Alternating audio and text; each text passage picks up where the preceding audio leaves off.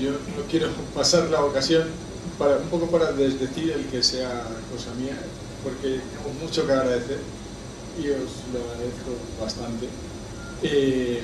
y por otra parte, el mérito es de todos, eh, especialmente los que estamos, los que estamos aquí y, todos los que, los que han, eh, han abierto de algún modo un hueco en, la, en su agenda. Hace muchos años,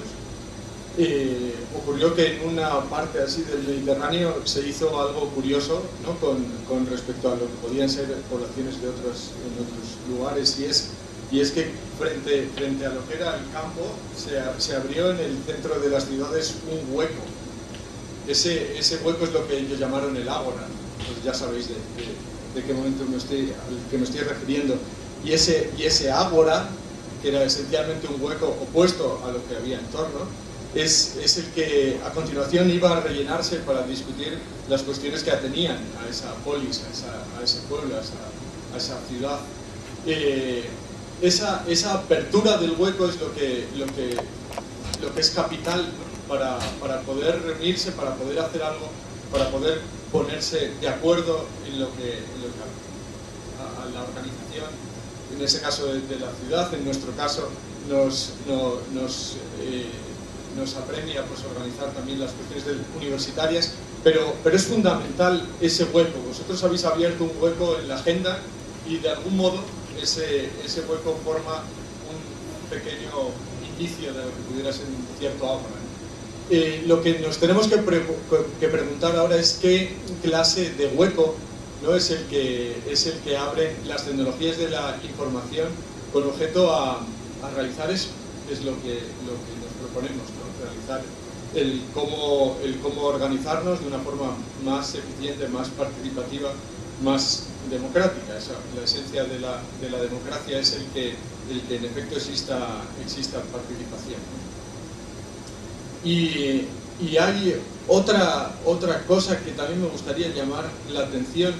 frente, eh, con respecto a esta geometría, por así llamarlo, del ágora, y es que junto al ágora estaba el teatrón el teatrón, eh, aunque para nosotros claramente tiene, tiene una función distinta, eh, resulta que si se ve eh, cómo estaban orientados el teatrón y el ágora, se ve, se ve que cumplían funciones bastante coordinadas. En, en, este momento de las, y, en particular en, el, en, la utilización de las tecnologías de la información, tenemos, tenemos que preguntarnos si, si, esa, si esa aunación, como, como prácticamente promueve las tecnologías de la información entre el teatrón y el ágora, en el que se diluye lo virtual del, con lo real, eh, pueden, pueden realmente cumplir la misma función que pudiera, que pudiera tener en, en Grecia. Esa distinción de lo, de lo virtual para el griego era, era muy importante y en la ciudad griega eh, porque lo que se estaba haciendo en el teatrón era ensayar cosas, mientras que lo que se hacía en el ágora se estaban tomando decisiones que, que, iban a tener un efecto inmediato. Esa, esa, distinción neta eh, creo que no es baladí y, y, creo que es algo también a tener en cuenta y a pensar eh, a tenor de esta pregunta de fondo sobre si las tecnologías de la información van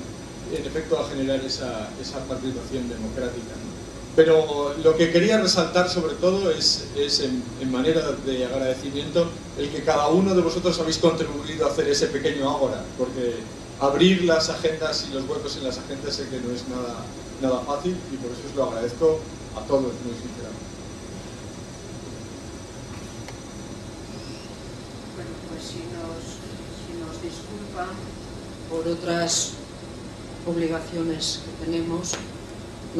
tanto el vicerrector como yo nos ausentaremos en este momento y,